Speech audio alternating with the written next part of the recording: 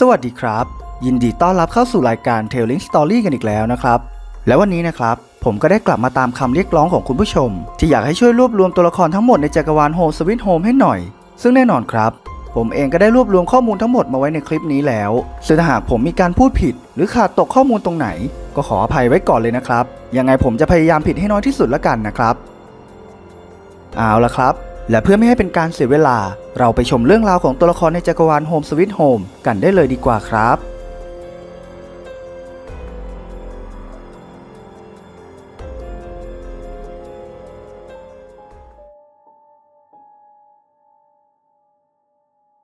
1. นะครับ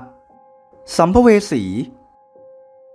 ในส่วนของผีสัมภเวสีนั้น ส่วนใหญ่จะเรียกว่าสัมภเวสีไปเลยก็ไม่ถูกเสมอไปนะครับ ราะผีแต่ละตัวที่ปรากฏให้เราได้เห็นเป็นสีดำๆนั้น ส่วนใหญ่จะเป็นประเภทของเปรตที่ไม่ใช่เฉพาะลำตัวยาวสูงสัทีเดียว ซึ่งถ้าใครที่เคยอ่านเรื่องราวของเปรตนั้น พวกเขาจะมีประเภทอยู่หลายประเภท และไม่จำเป็นจะต้องตัวสูง หรือปากแหลมซะเสมอไป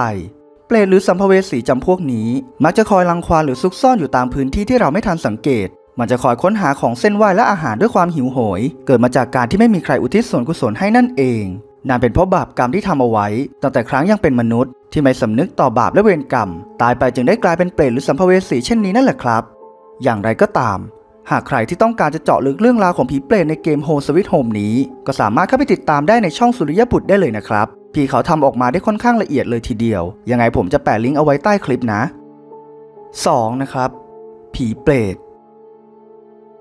เอาละครับ ถึงแม้ว่าผมจะไม่ได้เน้นเรื่องราวของประเภทผีเปรตลูกสมุนมากนัก แต่ผมจะขอเน้นไปที่เปรตหัวหน้า หรือเปรตตัวหลักของเรื่องเลยแล้วกันนะครับ โดยเปรตที่เราเห็นกันในเกมนั้น มีชื่อว่านายวิชัยมานะไพบูลย์หรือเต้เกิดวันที่ 11 เมษายน ปีพศ 2521 เป็นหัวหน้าแก๊งซิ่ง แต่มีอยู่วันหนึ่ง เขาได้ขับมอเตอร์ไซค์หลบหนีตำรวจกับลูกน้อง จนเกิดพลาดท่าชนท้ายกระบะที่มีลวดเหล็กแหลมอยู่ด้านหลังทำให้ตัวเขานั้นถูกเหล็กแหลมเสียบเข้าไปที่ตาซ้าย ทะลุท้ายถอยตายขาดที่ในทันที ในปีพศ 2545 รวมอายุได้ตอนเป็นมนุษย์ ก็คือ 24 ปี เดิมทีเต้นั้นเป็นคนที่ชอบทำร้ายพ่อแม่ และด่าว่าสารพัดทำให้เมื่อตายไป เต้จึงได้กลายเป็นเปรตตาเดียว ที่เราเห็นแล้วต้องเผชิญนั่นเองครับ 3. ผีเบล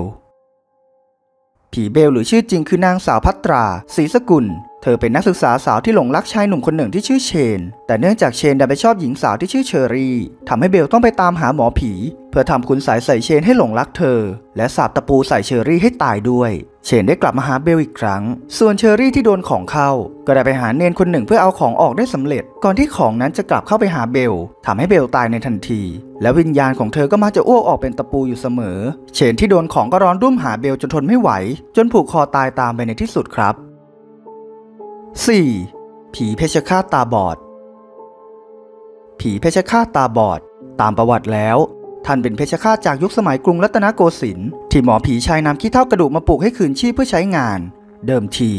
ท่านคือเพชฌฆาตผู้สำเร็จโทษนักโทษหลายต่อหลายคน และท่านเป็นผู้ซื่อสัตย์อย่างมาก แต่เนื่องด้วยจากความขัดแย้งกับเจ้านายทำให้ท่านต้องถูกลอบสังหาร โดยการนำยาพิษมาป้ายตาและจับถ่วงน้ำสาเหตุเป็นเพราะท่านสักยันต์หนังเหนียวคงกระพันทำให้มีดดาบไม่สามารถฟันแทงเขาได้ สุดท้าย เรื่องแดงถึงในวังทำให้เพชฌฆาตตนนี้ถูกนำขึ้นมาทำพิธีอย่างสมเกียรติในบริเวณวัดเวสาลีครับ 5. หมอผีชัย หมอผีชัยเป็นหมอผีสายมนต์ดำที่มีวิชาแก่กล้า สามารถทำคุณสายได้ทุกรูปแบบ แม้กระทั่งสร้างตุ๊กตาจำแรงเพื่อหลอกให้ติมเข้าไปสู่ในโลกของนิวรณ์หรือโลกของการเวียนว่ายตายเกิดของวิญญาณ หมอผีชายมีวิชาอาคมที่แข็งแกร่งมาก เขามักจะสรรหาวิญญาณหรือเท่ากระดูกเพื่อมาทำเป็นบริวารของเขา หนึ่งในนั้นก็คือผีเพชฌฆาตตาบอด หรือมินิบอสที่เราจะต้องฝ่าฟันไปให้ได้ ก่อนที่จะไปต่อสู้กับหมอผีชัย ที่อยู่เบื้องหลังพิธีกรรมและเรื่องราวทั้งหมดนั่นเอง 6. ศาลพระภูมิ ศาลพระภูมิเราจะเห็นได้ในเกม Home Sweet Home 2 ซึ่งเป็นจุด save ที่มีอยู่ตามแต่ละพื้นที่ วิธีการ save ก็คือเราจะต้องตามหาของเซ่นไหว้อย่างเช่นข้าวต้มมัด เอามาวางไว้ จากนั้นก็จะมีมือของเจ้าที่ปรากฏออกมารับของเซ่นไหว้ไป เพื่อเป็นการ save จุดที่เรามาอยู่นั่นเองครับนับว่าเป็นกิมมิคเล็ก ๆ ที่น่าสนใจ และไม่มีใครเหมือนไปกว่าบ้านเราแล้ว 7. นะครับ ราตรีและธิดา ราตรีเป็นหญิงสาวรูปร่างสวย เธอเกิดในปีพศ 2479 และฝึกซ้อมในฐานะนางรำในคณะนาฏศิลป์จังหวัดนนทบุรี เธอตายลงในปีพศ 2499 ซึ่งสภาพของเธอบิดเบี้ยวหักงอจนน่าสยดสยอง สาเหตุก็เพราะเธอได้ไปบนบานสารกล่าว ว่าขอให้ได้เป็นนางรำอันดับหนึ่งในคณะนาฏศิลป์ ซึ่งถ้าได้เป็นแล้ว เธอจะแก้ผ้ารำถวาย จนหลังจากนั้น พี่บัวนางรำในวงก็ได้หนีตามสามีไปอยู่ในกรุงเทพทำให้เธอมีโอกาสที่จะได้เป็นนางรำในไม่ช้า แต่ทว่า พอครูกับเลือกที่ดาแทน เนื่องจากว่าลาตีเป็นคนหลงตัวเอง ขี้อิจฉาไม่ยอมฝึกซ้อมเท่าที่ควรทำให้เธอโกรธเป็นอย่างมาก และเป็นตัวต้นเหตุทำให้ธิดาต้องถูกตัดแขนจนเสียชีวิต จากการร่วมมือกับมิงขโมยสร้อยทองของแม่ครูไปซ่อน เพื่อใส่ร้ายธิดา เมื่อธิดาตายแล้ว เธอก็ได้กลายเป็นนางรำอันดับหนึ่งในคณะนาฏศิลป์นั้นแต่เพียงผู้เดียว แต่สุดท้ายจากการผิดคำสาบานกับสิ่งศักดิ์สิทธิ์นั้น จึงทำให้ราตรีต้องถูกลงโทษด้วยความตายครับ 8. กระสือ พบขึ้นในปีพศ 2502 ที่จังหวัดสระบุรี มีความเป็นไปได้สูงที่จะเป็นย่าปลีก ซึ่งเป็นย่าของทิดากับราตี แต่ก็ไม่อาจสรุปชี้ชัดได้นะครับ โดยกระสือนั้นจะปรากฏตัวในโฮมสวิตโฮมภาค 2 เพื่อมาหลอกล่อให้เราตกใจ ในขณะที่เรากำลังตามหาเจนในป่าอยู่นั่นเองครับ 9. ผีแม่นาค ใครจะไปคิดล่ะครับว่า เกมนี้จะใส่แม่นาคลงไปด้วย ซึ่งเธอจะปรากฏตัวอยู่ที่ท่าน้ำข้างๆ วัดเวสาลี เมื่อพอเราเข้าไปใกล้แล้ว เธอก็จะหายตัวไปในทันทีทิ้งให้เรารู้สึกคิดถึง และกลายเป็นกิมมิคเล็กๆน้อยๆให้เราได้จดจำครับ 10. ผีพลายน้ำผีพลายน้ำเดิมที เธอเป็นหญิงสาวค้าขายสัตว์ทะเลอยู่ในตลาด แต่เนื่องจากสามีของเธอเป็นคนติดการพนันอย่างมาก และไม่ยอมใช้หนี้กับเขาทำให้มาเฟียคุมบ่อนพนัน จำเป็นจะต้องจับตัวเธอมาเป็นตัวประกันเพื่อหลอกล่อให้สามีมาถ่ายคืน โดยสามีของเธอจะต้องหาเงินมาใช้หนี้ให้ครบก่อนเวลาน้ำขึ้น ไม่อย่างนั้น เธอที่ถูกผู้มาเฟียจับมัดไว้กับพื้นป่าชายเลน จะต้องจมน้ำตายในที่สุด เธอเฝ้ามองหาสามี เพื่อหวังว่าเขาจะกลับมาถ่ายตัวเธอกลับไป แต่สุดท้ายแล้ว สามีของเธอก็ไม่ปรากฏให้เห็น จนเธอจมน้ำตายในคืนนั้น ก่อนตาย จิตใจของเธออาฆาตพยาบาทอย่างมาก และเต็มไปด้วยความแค้นความเกลียดชังทำให้เธอกลายเป็นวิญญาณผีพลาย ที่ถูกดึงเข้ามาสู่ในโลกของนิวรณ์นั่นเองครับ 11. ผีคนคุก เป็นผีที่เคยถูกจองจำในคุก และฆ่าเพื่อนร่วมคุกตายอย่างทรมาน ไม่มีใครทราบได้ว่าเขาตายอย่างไร แต่รูปร่างของเขานั้นสูงใหญ่และแข็งแกร่งอย่างมาก ยากแก่การที่จะเอาชนะได้เลย ผีคนคุกจะมีโซ่พันเป็นพรวนเอาไว้รอบตัว เพื่อเป็นสัญลักษณ์ครับ มันจะคอยใช้โซ่คนคุกเวียงเข้าทำร้ายเหยื่อ เพื่อสร้างความเจ็บปวดและเสียงร้องอันทรมาน เพียงแต่ผีคนคุกจะเดินได้ค่อนข้างช้ามากทำให้เขามักจะตามเหยื่อไม่ทัน เขาจึงใช้โซ่เป็นตัวจับเหยื่อแทนครับ 12. ติมติมหรือนายชัดชัยทับลอย หัวหน้าช่างเทคนิคในบริษัทแห่งหนึ่ง ที่ใฝ่ฝันอยากจะมีชีวิตครอบครัวที่สมบูรณ์แบบ เขาจึงพยายามโหมงานอย่างหนัก เพื่อที่จะได้เลื่อนขั้นและหาเงินมาผ่อนบ้าน เพื่อให้เจน ภรรยาของติมอยู่อย่างสุขสบาย แต่ทว่า สิ่งที่เขาทำนั้นกลับกลายเป็นการให้ความสนใจต่อเจนน้อยลง จนเจนได้เริ่มหายตัวไปอย่างเป็นปริศนาทำให้ติมต้องดื่มเหล้าอย่างหนัก เพราะคิดว่าเป็นความผิดของเขา แต่แล้ว เขาก็ได้พบเบาะแสของเจน และเกิดเป็นเรื่องราวที่ติมจะต้องออกตามหาเจนในโลกนิวรณ์ติมเผชิญหน้ากับผีวิญญาณมากมาย จนมารู้ความจริงว่า นี่เป็นแผนการของหมอผีชัย ที่ต้องการหาวิญญาณตัวแทนของผู้กระทำความผิดในศีลห้าข้อ เพื่อทำพิธีเอกนิรันดร์การในวันสุริยคาสเพื่อจะได้อำนาจและความอยู่ยงคงกระพันนั่นเองครับ 13. เจน เจหรือนางนิธิรินยาทับลอย ภรรยาของติมที่หายตัวไป จากการหลอกล่อของหมอผีชัย เธอมีอาชีพเป็นนักเขียน ซึ่งจากการที่เธออยู่บ้านอย่างโดดเดี่ยว และได้รับความสนใจจากติมน้อยมากทำให้เธอหลงผิดในศีลข้อที่ 3 นั่นก็คือมีความสัมพันธ์ลับๆกับดิว เพื่อนสนิทของติม จนนำไปสู่การถูกลักพาตัวในโลกของนิวรณ์โดยเราจะเห็นเจนอยู่หลายครั้งในภาคแรก แต่นั่นกลับไม่ใช่เจนตัวจริง แต่คือร่างจำแรงของหุ่นที่หมอผีวิชัยทำขึ้นมา เพื่อหลอกล่อติมต่างหาก 14. ออฟ ออฟเป็นนักศึกษาคณะแพทย์ที่มหาวิทยาลัยแห่งหนึ่ง ที่มีสัมผัสที่ 6 หรือสามารถสื่อสารกับวิญญาณได้ นั่นจึงกลายเป็นจุดเริ่มต้นที่เขาใช้ความสามารถที่มี ในการปราบผีและช่วยเหลือผู้คน ที่ถูกวิญญาณร้ายคุกคาม แถมเขายังเป็นพระเอกซีรีส์ในเรื่อง Let Fight Ghost อีกด้วย แต่สุดท้ายเขาก็ได้ถูกชักนำให้เข้ามาสู่โลกนิวรณ์ในที่สุด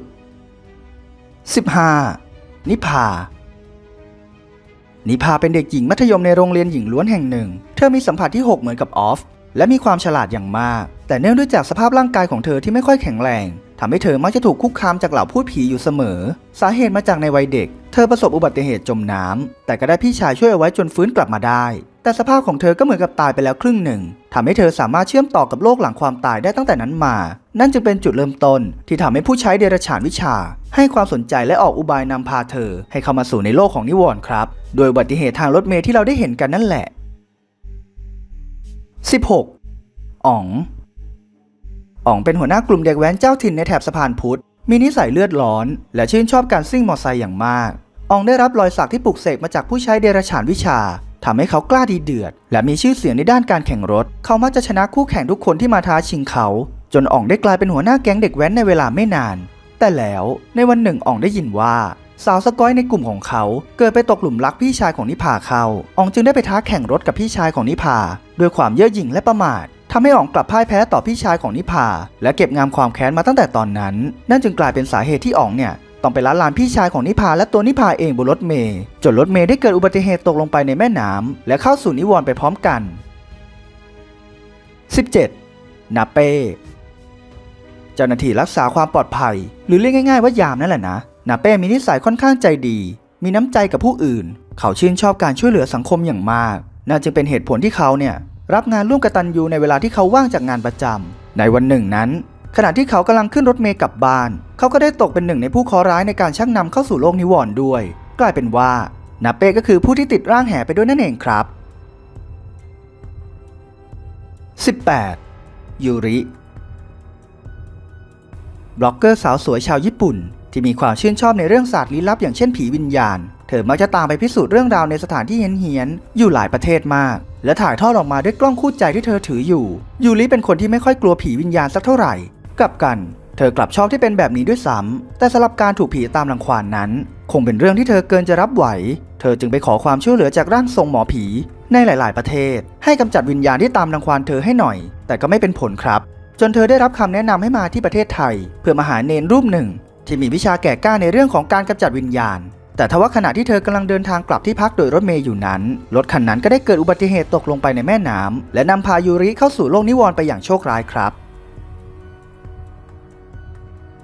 19. ปิงปิงเป็นตัวละครที่มี character ถอดแบบมาจากพี่แป้ง zbing YouTuber สาย casting เกมที่มีความน่ารักและสนุกในเวลาเดียวกัน จนทางทีมผู้พัฒนาเนี่ย ได้นำพาพี่แป้งมาสร้างเป็นตัวละครอย่างปิงขึ้นมา ปิงนั้นเป็นทาสแมวสุดน่ารัก แต่ชีวิตในวัยเด็กของเธอกลับไม่น่ารักด้วย เธอได้สูญเสียพ่อแม่ไปตั้งแต่ยังเด็กทำให้ปิงต้องอยู่กับยายสองคน ยายของเธอประกอบอาชีพขายขนม และประสบปัญหาทางการเงินที่ไม่ค่อยสู้ดีนัก ทำให้ปิงที่ในตอนนั้นได้เป็นนักแข่งเกมอยู่แล้ว ตัดสินใจลงแข่งทัวร์นาเมนต์เกมรายการหนึ่ง เพื่อจะได้เป็นผู้ชนะและนำเงินรางวัล มาจุนเจือ รวมถึงรักษายายที่สูญเสียดวงตาในการมองเห็นไป ปิงได้เข้าแข่งขันและต่อสู้กับคู่แข่งมาอย่างมากมายจนเอาชนะมาได้ และคว้าเงินรางวัลมาได้ในที่สุดทำให้เธอมีชื่อเสียงมากขึ้นไปอีกในค่ำคืนนั้น แต่ทว่า หลังจากนั้นไม่นาน ยายของเธอก็ได้เสียลงและจากเธอไปในที่สุด ปิงได้พบกับแมววัดตัวหนึ่ง หลังจากทำพิธีศพคุณยายเรียบร้อย เธอตั้งชื่อให้มันว่าบลิงเพื่อเป็นเพื่อนคอยอยู่เคียงข้างเธอ แต่วันหนึ่งเนี่ยปิงได้ถูกฝูงสุนัขกกำลังจะลุมทำร้ายบลิงจึงได้เข้ามาช่วยไว้ได้ทันทำให้มันตายจากการต่อสู้ ปิงเสียใจมาก จึงนำศพของบลิงไปฝังไว้ใกล้ๆกับเจดีของคุณยาย แต่ในคืนนั้น เมื่อปิงกลับมาที่บ้านด้วยความเศร้าจู่ๆเธอก็ได้พบกับบลิงที่มีสภาพกึ่งเป็นกึ่งตายทำให้เธอดีใจอย่างมาก และไม่รังเกียจที่จะดูแลมันเลยทั้งคู่ใช้ชีวิตอยู่ด้วยกันอย่างมีความสุข จนกระทั่งวันที่ปิงขึ้นรถเมล์โดยสาร และได้เกิดอุบัติเหตุตกลงไปในแม่น้ำทำให้เธอกลายเป็นเหยื่ออีกหนึ่งคน ที่ก้าวเข้าสู่โลกนิวรณ์ไปด้วยครับ 20. ฮาร์ด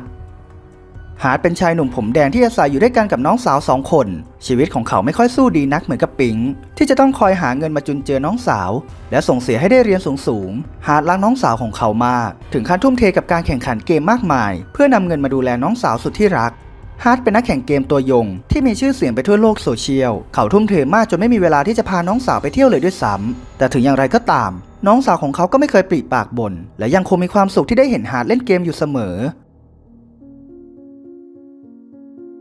อยู่มาวันหนึ่ง ได้มีการแข่งขันทัวร์นาเมนต์เกมรายการหนึ่ง ซึ่งทีมฮาร์ดเป็นแชมป์มากถึง 3 สมัยซ้อน และครั้งทีสี่ 4 ก็ยังคงเป็นการป้องกันแชมป์ของเขาอยู่เช่นเคย แต่ทว่าในครั้งนี้กลับมีกลุ่มที่พนันทีมฝั่งตรงข้าม ขอให้ทีมของฮาร์ดแพ้ซะ และเสนอที่จะให้เงินรางวัลที่สูงกว่าในการแข่งขันอีกด้วย เพื่อนร่วมทีมทั้งหมดยกเว้นฮาร์ดที่ได้ยินข้อตกลงนี้ จึงตกลงและร่วมมือกันที่จะไม่บอกฮาร์ดนั่นจึงทำให้ฮาร์ดรู้สึกว่าทำไม เกมแรกของเขาถึงเล่นได้ไม่ดีนัก แต่ฮาร์ดก็สามารถแก้เกมได้ในยกที่ 2 เมื่อเพื่อนๆเห็นเช่นนั้น จึงตัดสินใจบอกฮาร์ดที่จะล้มมวย และแพ้เกมนี้ซะทำให้ฮาร์ดเสียใจเป็นอย่างมาก ที่เขาทุ่มเทไปเพื่ออะไรกัน สุดท้ายเขาก็ได้พ่ายแพ้ให้กับทีมคู่แข่ง ที่เพิ่งลงแข่งได้ไม่นาน นั่นก็คือทีมของปิงนั่นเอง หลังจากที่การแข่งขันสิ้นสุดลงฮาร์ดเลือกที่จะพาน้องสาวไปเที่ยวสวนสนุกเพื่อเป็นการพักผ่อน แต่ในช่วงขากลับ เหล่านักพนันที่สูญเสียเงินไปจากการพ่ายแพ้ของฮาร์ดก็ได้เริ่มขุดหาข้อมูลและสั่งเก็บในที่สุด พวกเขาปาหินใส่ในรถทำให้เกิดอุบัติเหตุไฟลุกไหม้ซากรถบางส่วนทับขาของน้องสาว พร้อมกับไฟลุกท่วมทำให้เธอไม่สามารถหนีออกจากรถได้ฮาร์ดได้พยายามสุดความสามารถเพื่อจะดึงน้องสาวของตัวเองออกมา แต่สุดท้ายเขาก็ได้สลบไป จากการระเบิดของรถในวันนั้น เมื่อฮาร์ดตื่นขึ้นมาก็พบว่า นิ้วมือของเขาไม่สามารถใช้งานในการเล่นเกมได้อีกต่อไป รวมถึงผู้คนในโลกโซเชียล ก็ประโคมข่าวใส่ร้ายเขา ที่เป็นตัวการทำให้น้องสาวของเขาต้องตายฮาร์ดเสียใจและสูญเสียทุกสิ่ง เขาแค้นเคืองความเป็นมนุษย์ทุกอย่างที่ทำกับเขานั่นจึงกลายเป็นจุดเริ่มต้นที่ปีศาจตนหนึ่ง ได้หยิบยื่นพลังให้แก่ฮาร์ดเมื่อใดที่ฮาร์ดสวมหน้ากากของมัน มันจะมอบพลังอย่างที่ไม่เคยเป็นมาก่อนฮาร์ดไม่ลังเลที่จะรับพลังนั้นมา และร่างกายของเขาก็กลับมาเป็นปกติอีกครั้ง เขาได้ไปที่ห้องดับจิตเพื่อหาร่างของน้องสาว ที่ในตอนนี้ไหม้เกรียมเหลือแต่แขน เขาจึงเริ่มล้างแค้นผู้คนที่เกี่ยวข้องกับเกม โดยทุกศพจะมีแต่ชิ้นส่วนแขนที่หายไป พร้อมกับชื่อ codename บนหน้าจอว่าHardrocker21 เณร เณรที่ปรากฏอยู่ใน Home Sweet Home นั้น เราจะเห็นท่านอยู่ในเกมอย่างชัดเจนใน EP ที่ 2 ส่วนใหญ่แล้ว เณรจะมีความสามารถในการรักษา หรือแก้ของจากผู้ที่ถูกทำคุณสายมา อย่างเช่นเชอรี่ ที่มาขอความช่วยเหลือเอาของจากเบลล์ออกจนสำเร็จ นอกจากนี้เณรยังเป็นคนช่วยชีวิตทิม และอธิบายในเรื่องของการมีอยู่ของนิวรณ์อีกทั้งยังช่วยเรื่องการรับมีดอาคม เพื่อเอาไปต่อกรกับหมอผีชัยได้อีกต่างหากนับว่าเป็นเนนที่มีประวัติเบื้องลึกเบื้องหลังที่น่าสนใจมาก แต่น่าเสียดายที่ไม่มีการเปิดเผยอะไรมากเท่าไหร่นักครับ